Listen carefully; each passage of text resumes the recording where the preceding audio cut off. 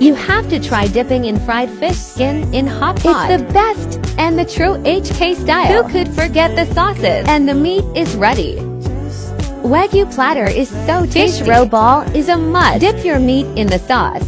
And remember to eat your veggie. Hot pot done right.